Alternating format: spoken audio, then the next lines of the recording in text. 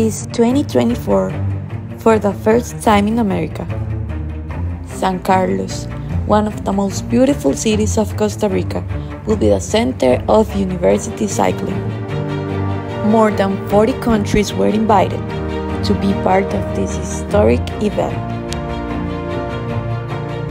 We welcome you to the 2024 World University Championship Cycling.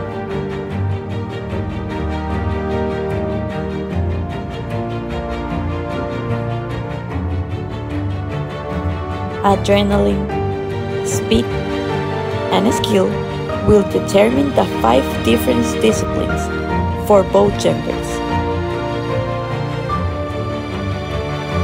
From May 28 to June 2nd, we are waiting for you.